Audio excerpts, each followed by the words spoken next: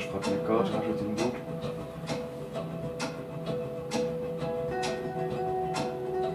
Je suis une histoire.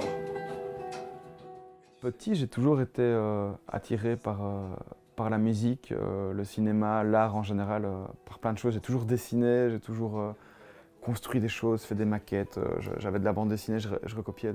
Donc j'ai toujours été hyper créatif, ça a, toujours été quelque chose qui bouillonnait en, moi. Et puis finalement, bah, la, guitare prenait de plus en plus d'ampleur, la musique prenait de plus en plus d'ampleur aussi.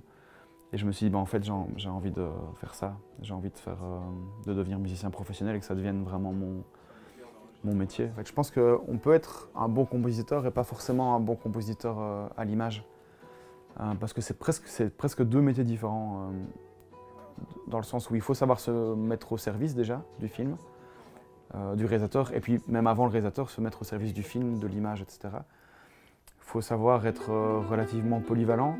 Je pense que c'est ça qui m'a amené pas mal de métiers aussi, enfin pas mal de boulot. C'est que j'ai j'ai fait des musiques euh, dans plein de styles, que ce soit le jazz, classique, électro. Euh, j'ai fait de la musique électronique quand j'étais ado, j'ai fait du métal quand j'étais ado aussi. Et donc j'ai toujours été pioché un peu partout dans toutes les musiques du monde, tous les styles de musique que j'aimais bien. en général, je parle en amont avec le réalisateur du style. Voilà, qu'est-ce qui serait opportun pour le, pour le film, musique classique, euh, jazz, voilà, tel type de musique.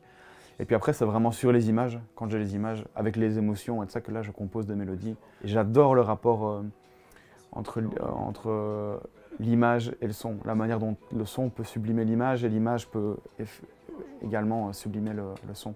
Dans le cas d'ici, Autant les Arabes dansaient, c'est une musique assez répétitive, donc j'ai composé une mélodie, et puis pareil, j'ai fait des couches, des couches, des couches, j'ai fait un premier piano, un deuxième piano, un troisième piano, un quatrième piano, pour faire monter, monter vraiment la chose, rajouter des cordes, un violon, et que ça devienne vraiment euh, orchestral, mais que ça parte d'une chose toute petite, d'une petite mélodie qui se répète. Ça, c'est des choses que j'aime bien faire en tant que compositeur.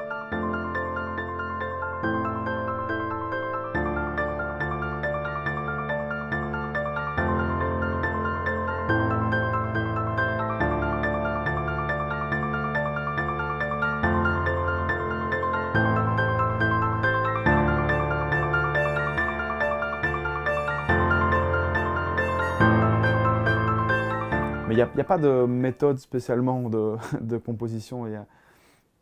chaque projet est différent, chaque film est différent, chaque réalisateur a un rapport différent à la musique aussi.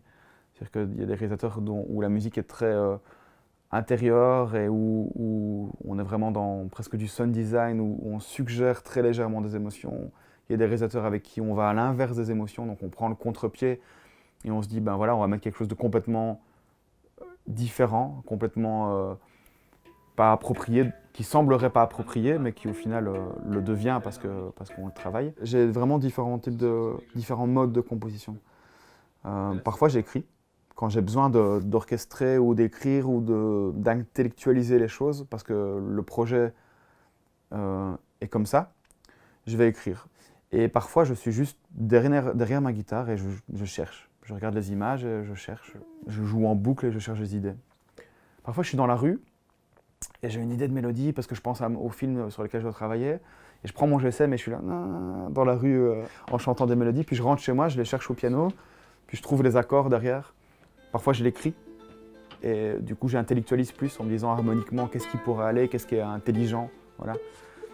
L'écriture l'analyse et l'harmonie permettent de se sortir de pièges dans lesquels parfois on est. Donc si on est un peu bloqué dans une composition, ça permet. Mais c'est dangereux parfois aussi de trop intellectualiser les choses. Il faut le faire vraiment. Enfin, en tout cas, c'est ma vision en tant que compositeur. J'aime bien composer avec mes tripes et chercher et trouver quelque chose. Et au moment où je trouve, je me dis là, ça marche. La rencontre avec Jawad euh, a été assez spontanée. On s'est rencontrés à, l'avant-première d'Insoumise. Euh, on a parlé. Très vite, il m'a invité chez lui à regarder des, des rushs du film, il m'a parlé de ce qu'il voulait, musicalement, même si ça a énormément évolué. Ce qu'il voulait à la base n'est pas du tout ce qu'il y, a dans, le film au final. Mais euh, le film est très musical et c'est vraiment une ode à l'art, à la danse, à la musique, euh, une ode à la liberté des artistes. Jawad a beaucoup mis la musique euh, en avant et lors des avant-premières, à chaque fois, il a insisté sur le fait que la musique est un des personnages du film.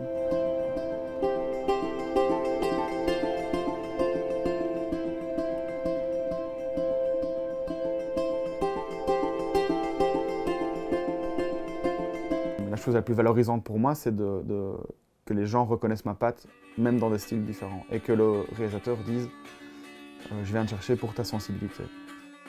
Euh, bah, depuis le Maghreb, je ne sais pas dire concrètement, rien n'a changé. Euh, c'est très récent aussi, mais euh, rien en, en tout cas, en moi, rien n'a rien, changé. Je fais le même travail depuis des années et je continuerai à faire le même travail avec la même passion. Maintenant, c'est une, reco- c'est une reconnaissance énorme.